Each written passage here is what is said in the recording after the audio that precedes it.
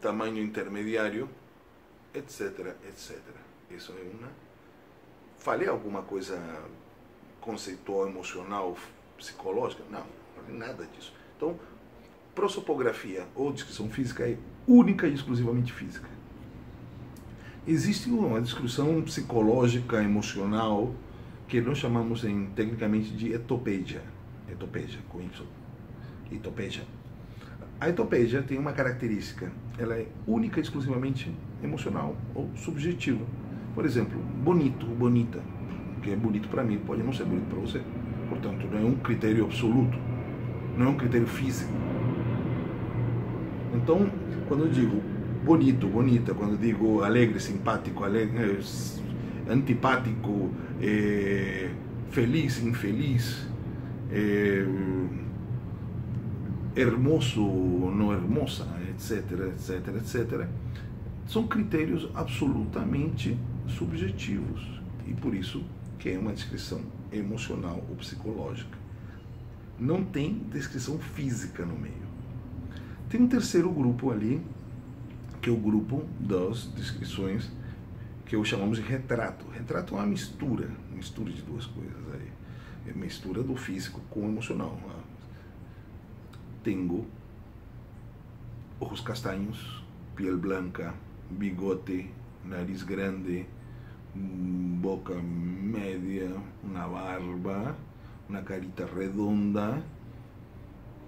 Isso aí, muito feliz. Misturei. Isso é que nós chamamos de retrato.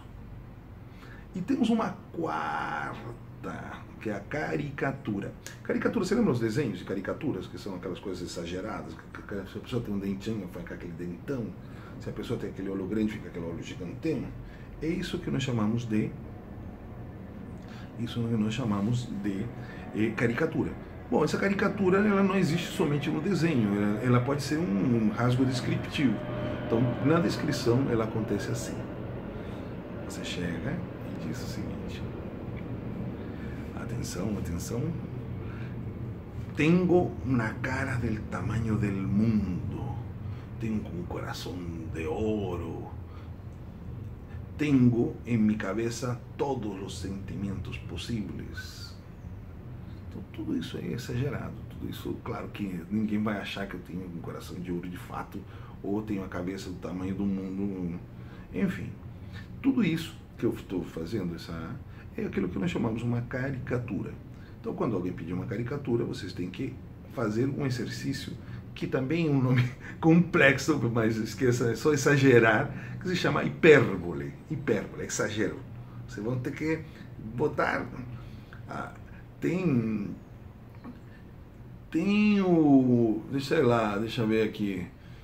Tem uma boca onde saem todas as palavras possíveis. Claro que a gente sabe que uma pessoa nunca vai sair da uma boca todas as palavras possíveis. Ao mesmo tempo, digo, bem entendido. Então, por isso que faz uma caricatura, e estou fazendo uma caricatura de mim mesmo. Então, em suposto, são quatro descrições: a física, que é a prosopografia, a psicológica, que é a etopeia, a, o retrato, que é a mistura de ambos, e a caricatura, que é essa geração dos rasgos físicos e emocionais de uma pessoa. Fechado, essa é a prova. Estudem. Beijos e abraços. Tchau.